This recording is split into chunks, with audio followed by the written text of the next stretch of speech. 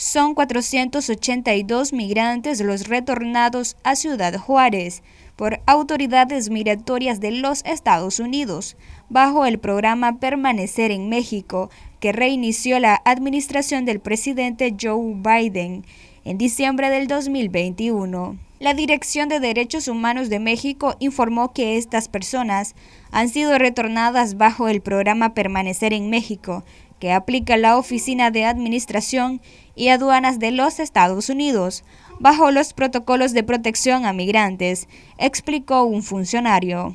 Expresó que esta cifra de migrantes es desde el pasado 13 de diciembre del 2021, cuando las autoridades de Estados Unidos reactivaron el programa. Sin embargo, solo 29 continúan en el albergue municipal informó el funcionario. Señaló que durante el transcurso de la semana pasada, la Organización Internacional para las Migraciones recibió a 35 migrantes para luego trasladarlos al albergue municipal, donde permanecen únicamente por tres días, pues únicamente funciona como filtro, antes de ser enviados al Centro Integrador para el Migrante. Resaltan las autoridades correspondientes que la mayoría de las personas retornadas a la ciudad Juárez son de los países de Nicaragua y Cuba. El programa Permanecer en México, también llamado Quédate en México de los llamados protocolos de protección de los migrantes, consiste en que los solicitantes de asilo en Estados Unidos regresen a México a esperar su proceso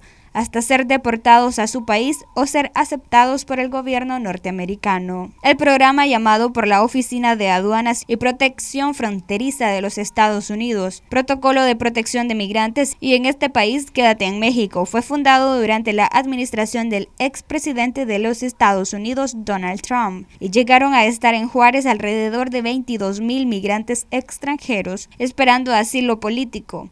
Para Noticias 12, Luisa Centeno.